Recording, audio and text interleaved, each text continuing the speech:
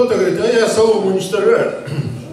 То я ее баранами растаскиваю, то, значит, измельчаю как можно меньше, деструкторами там уничтожаю, тоже наутильщик. А кто-то говорит, «Э, а я без э, растительных остатков не могу. А сегодня я слышу без уже почвопокровных культур. Вот эта технология наутил. Это система. И поэтому спасибо большое, Сергей Васильевич, вам, вашим сыновьям, коллегам нашим, кто занимается вот этой технологией. Я специально приехал посмотреть, чтобы я сказал вам всем. Я это видел в сухом Крыму. А наши сидят в предгорье и говорят, а у нас не росте, у нас влаги нема. У нас не получается, у нас почва другая, у нас все другое. Поэтому спасибо, это крайнее вступление. Значит, дело в том, что, уважаемые коллеги, сегодня уже говорили, что наука вот такая, вот у нас засранцы не хотят, не делают и так дальше. Я хочу немножко защитить науку, в том числе нашу крымскую. Дело в том, что я только вчера был в институте и был в лаборатории микробиологии. Мы много искали микробиологов, потому что у нас их нет. Поэтому мы вот как раз работаем с ними, мы берем сейчас микробиологию в полях наших ставропольских хозяйств, на наших опытных делянках и смотрим, что там происходит с микробиологией. Мы не дошли до почвопокровных культур, это следующий этап, которым будем заниматься, и они занимаются. И давая рекомендации, у вас там наутил всего занимается, кто я слышал, 8%, а у нас меньше, у нас 7,5%, то естественно наука дает рекомендации на 90-95% пашни, а не на 3%. А если вы почитаете их газеты, там у них много по технологии наутил написано.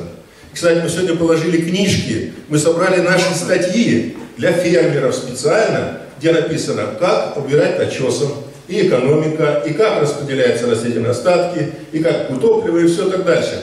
Как защищается почва от эрозии, мы все это описали на примере хозяйств. Там много каких статей, ни одной книжки никого ничего не заинтересовало. Поэтому работаем, уважаемые коллеги. Я не хочу э, защищаться, там, говорить так дальше. Э, вопрос в другом. 23 января в прошлом году было бюро Россельхозакадемии, не Россельхозакадемии, а отделение сельхознаук о том, что было принято решение о координации исследований по минимизации обработки почвы, прямому посеву и разработке государственной программы с ее государственным финансированием научных исследований именно. Ну а из-за ковида наш директор был в обоих министерствах, ОПРе и Минсельхозе, нас поддержали, но пошел ковид, и теперь, значит, э, и все программы, которые уже лежали, разработаны в министерствах, их сейчас все завернули. Мы начали разрабатывать, я собрал информацию от ученых, но все заглохло. То есть государственное финансирование мы не получим. Второй вопрос. А как изучать наутил, если э, институтах нету сеяла? Сейчас институты приобретают. Это очень тяжело и трудно. Я это, в этой ситуации не ученые виноваты, поверьте, ищут. Я проехал больше десятка институтов, поверьте, встречался с учеными, встречался с руководством институтов.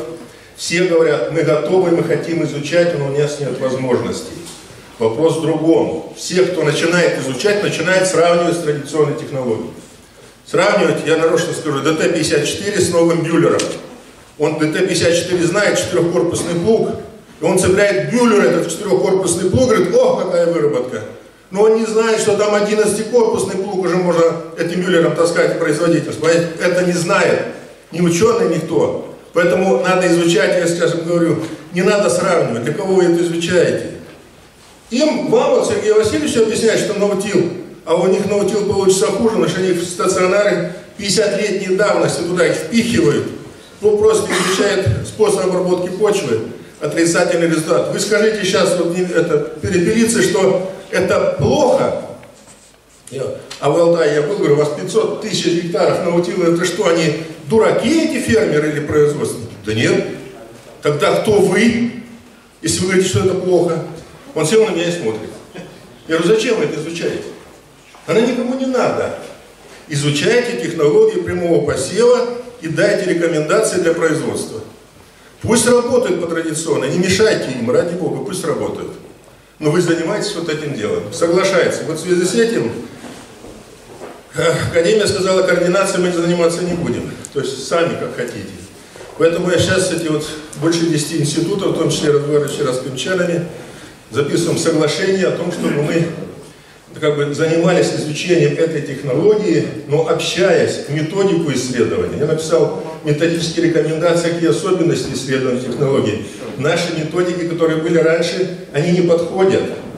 А у нас наука, понимаете, вы говорите, в производстве. Вот сейчас Ольга э, Леонидовна выступала, говорит, фермеру стало жалко растения, он нес удобрения. Все, опыт закончился. И научных данных не получено. Или, допустим, там другие, то есть в производстве делать исследования научно невозможно. Вот это, как придет к вам только ученые, хорошо, у нас много начинали, ну, сразу заканчиваем, что это такая заморочка, которая не, не годится. Поэтому решили таким образом объединиться, обсуждать методики исследований, собираться ученым без конференции, за круглым столом садиться где-нибудь на Урале, в Самаре, там, скажем, в Омске или где-нибудь еще, и разрабатывать программы методики, чтобы понимать, что происходит у нас в стране по этой системе, и для того, чтобы потом обсуждать и результаты, и публиковать их, и писать монографии и так дальше. То есть над этим процессом мы работаем. Еще один вопрос я хотел сказать. Проблема углерода. В мире э, признано, что за 150-200 лет углерода в почве стало в два раза меньше, чем было до этого. Куда он делся? Он весь ушел в атмосферу. Это парниковые газы, вы знаете этот эффект. И сегодня стоит вопрос о карбоне, значит, о том безуглеродной технике, технологии. Наша страна подписала тоже. Вопрос в чем? В чем наш интерес на утильщиков? Сегодня стоит вопрос о том, кто углерод утилизирует, накапливает в почве, тот должен за это получать деньги. А деньги должны платить те, кто углерод выбрасывает в воздух. Это, скажем, те, кто жгет нефть, жгет газ, э, газоэлектростанции там, и так дальше, кто добавляет уголь там, и так дальше. Первая ласточка у нас уже есть, которая сейчас кто делает карбоновый. А? Кто пашет? Кто пашет, да. То есть кто пашет, тот не может накапливать углерод, это уже доказано. Это уже первая, значит, ласточка, 320 миллионов рублей было продано карбона, вот это вот как раз, который накапливается, а, предприятиям Подмосковья, которые купили это все, значит, как бы компенсируя, чтобы их не штрафовало это самое.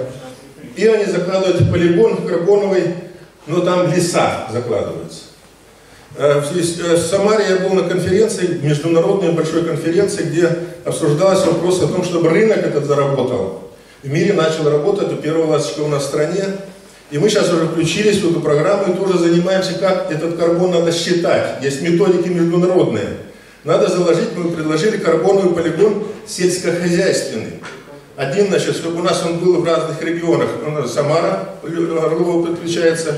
Мы предложили Ставропольский край, и когда сейчас были мы в поле, если я отходил, звонила Орлова Людмила Владимировна, передавала вам личный привет, просила вам дать телефон, я говорю, не могу, он как раз выступает перед нами, и она просила передач. Предлагает вам тоже на вашем поле, на вашем хозяйстве сделать карбоновый полигон. Я говорю, передам обязательно, вот сейчас передаю вам эту вот просьбу, но там условия, что надо проводить исследования, и исследования должны вести ученые скажем, Красно, это, Крымского НИСК или вот Вернарского, или как у вас называется университет. То есть вот тут как раз давайте позанимаемся вместе, предлагается вам. Я думаю, она вам будет звонить, нам тоже предлагает, чтобы мы сделали каком-то из хозяйств. Там надо вестись, но какие исследования, что там надо делать, я еще, она не сказала, она не знает. То есть мы это все сначала узнаем, конечно, основательно, а потом будем вести. То есть этот вопрос, вот как раз нам будет работать вместе наука и производство, нам надо будет работать вместе. Я думаю, что мы все равно будем двигаться вперед, и наша наука, поверьте, сегодня стала нарицательной.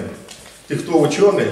Следующий вопрос, ты что, идиот? Ты что там делаешь при этой зарплате? При том, что тебя вообще не считают за человека, а там работают. И к нам приходят молодые люди, аспиранты, надеюсь, что все-таки это будет дальше идти. И поверьте, мы занимаемся тем, чтобы помочь вам, э, как бы, э, нашим товаропроизводителям. Я, в частности, занимаюсь технологией наутил уже больше 10 лет. И поверьте, чем больше я занимаюсь, тем больше я понимаю, что я очень мало-мало знаю. И вот сегодня я побыл у вас, очень много научился, ваше выступление послушал у нас.